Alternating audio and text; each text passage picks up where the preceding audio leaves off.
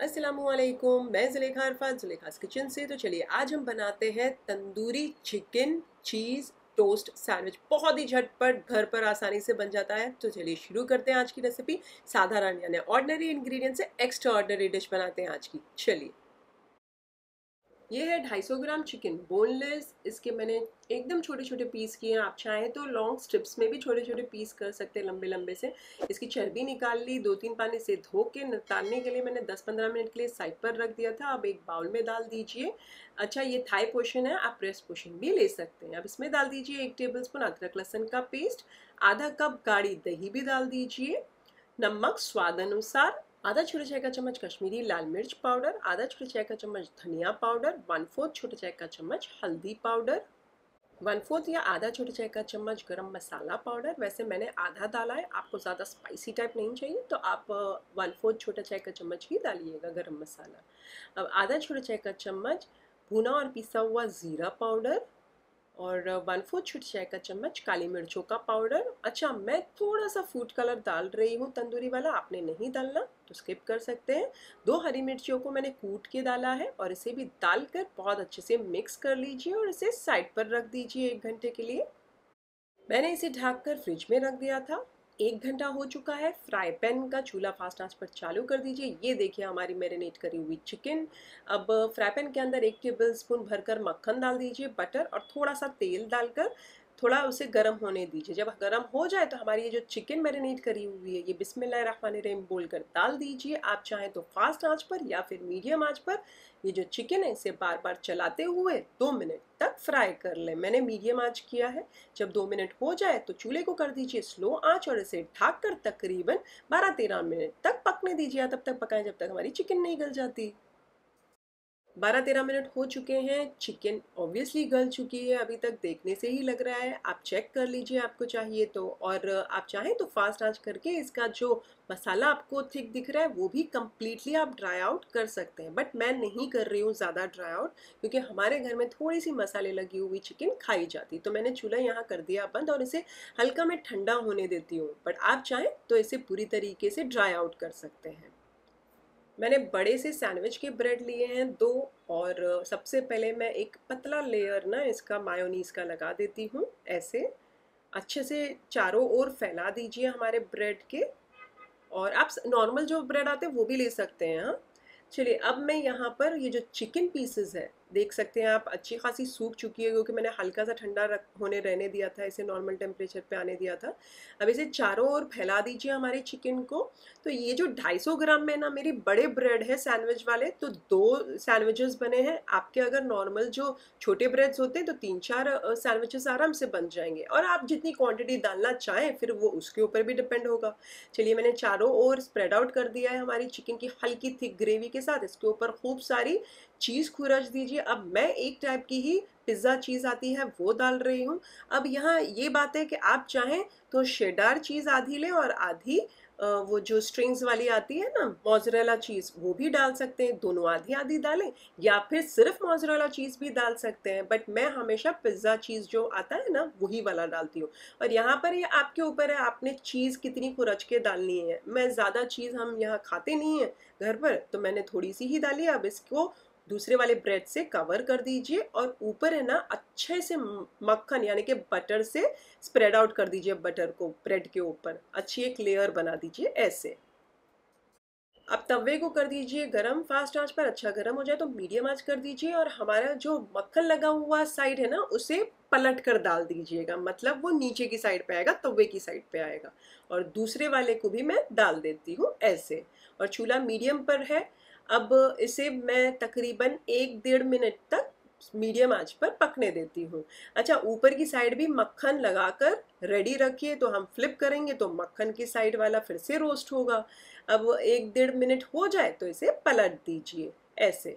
और दोनों ओर से लाइट गोल्डन ब्राउन हो जाए तो इन्हें निकाल लीजिए और इनके इस तरीके से पीसेस कर लीजिए। अब आप चाहें तो एक के दो कर सकते हैं या एक के चार पीसेस भी कर सकते हैं हमारी सैंडविच के।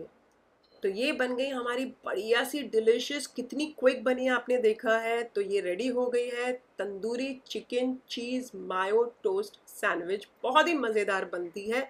और टेस्ट तो बहुत ही अच्छा है। आप किसी भी मायो डिप के साथ सर्व कीजिए या केचप के साथ सर्व कीजिए। अच्छा इस रेसिपी के अंदर हरी मिर्चियाँ और लाल मिर्ची का पाउडर अपने स्वाद अनुसार एडजस्ट कीजिएगा। और आप चाहें तो ये जो मैरिनेट करने नहीं रखना चाहते हैं एक घंटा तो वो आप टाइम सेव करके डायरेक्टली फ्राइंग प्रोसेस कर सकते हैं। तो मतलब हार्डली कुछ मिनटों के अंदर हमारी ये जो टोस्ट मायोनीज वाली जो चिकन है, तंदूरी वाली, वो रेडी हो जाएगी। तो है ना मज़ेदार रेसिपी आज की? अगर आप बनाएँ तो मेरे साथ कमेंट सेक्शन में ज़रूर शेयर कीजिएगा। मुझे आपके कमेंट्स पढ़ने बहुत अच्छे लगते हैं। रेसिपी अच्छी लगे तो लाइक कीजिए वाले वीडियो को। उससे ज़्यादा अच्छी लगे तो अपने फैमिली और फ्रेंड्स में इस वाले वीडियो के लिंक ज़रूर फॉरवर्ड कीजिएगा। फिर से हाजिर होंगी नई शानदार, दमदार रेसिपी के साथ। देन टेक केयर अल्लाह हाफिज। बाय असलम मैं जुलेखा अरफा, जुलेखास किचन से। तो चलिए, आज हम बनाते हैं चिकन फहीटा सैंडविच। चीज़ वाला बहुत ही मज़ेदार, झटपट, घर पर सारे मसालों से ही बन जाएगा। कुछ आउट ऑफ़ द बॉक्स मसाले नहीं है इसमें। तो चलिए, शुरू करते हैं। साधारण यानी ऑर्डनरी इंग्रेडिएंट से एक्स्ट्रा ऑर्डनरी डिश बनाते हैं आज की। चलिए। एक फ्राई पैन के अंदर थोड़ा सा तेल डाल दीजिए। चूल्हा फास्ट आँच पर चालू कर दीजिए। तेल गर्म हो जाए तो यहाँ पर मैं डाल देती हूँ डेढ़ छोटे चाय का चम्मच बारीक कटा हुआ लहसन और इसे मीडियम आँच कर कर बार बार चलाते हुए लहसन को फ्राई कर लीजिए तकरीबन आधे पौने मिनट तक। ये देखिए, चिकन को मैंने ऐसे लंबी लंबी स्ट्रिप्स काट के रखी और ये 250 ग्राम चिकन बोनलेस है। मैंने थाई पोर्शन लिया, आप ब्रेस्ट पोर्शन ले सकते हैं। जब आधा पौना मिनट हो जाए फ्राई करके तो ये जो चिकन साइड पर रखी हुई है, ये चर्बी निकाली हुई है, धोई हुई है अच्छे से दो तीन पानी से और नितारने के लिए मैंने पाँच दस मिनट के लिए साइड पर रखा था। मैंने लंबी लंबी स्ट्रिप्स किए पतले पतले आप चाहें तो छोटे छोटे पीसेस भी कर सकते हैं। और इसे बार बार चलाते जाएँ।